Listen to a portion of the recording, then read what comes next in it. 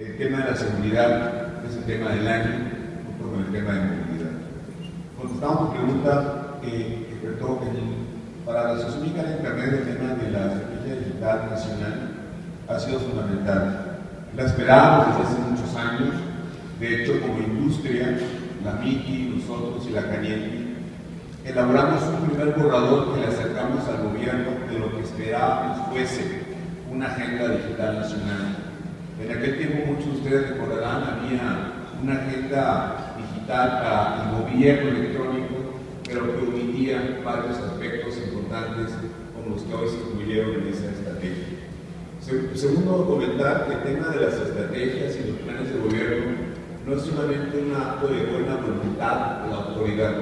Nosotros lo vemos como una obligación que está en la Constitución porque el sistema de planeación exige que existan documentos donde se concentren propuestas específicas.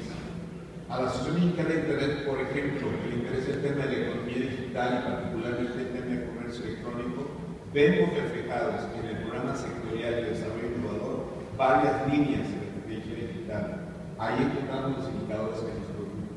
Y para que esta estrategia eh, trascienda, es importante que se cumpla no solamente la estrategia como documento, sino los programas que de ella derivan.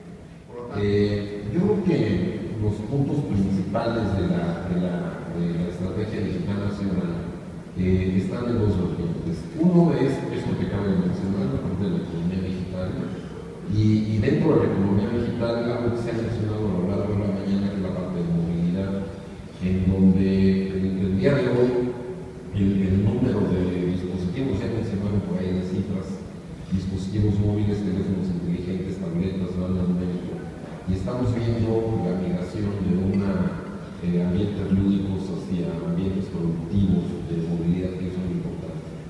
El gobierno es el principal tractor de la utilización de las tecnologías de información al utilizar eh, la, la parte digital, la parte de tecnologías de información eh, de una manera intensa para los servicios que provee a la ciudadanía, para y para las tareas internas. Una, desde, desde el punto de vista de estrategia digital, sumamente importante. En primer lugar, la, la transformación del gobierno es un gobierno digital. No puede haber un gobierno eficiente en estos días si no es un gobierno digital. Y la segunda de ellas es lo que ya mencionaba Carlos, el entendimiento de que estamos en la era de la economía digital y cómo gira alrededor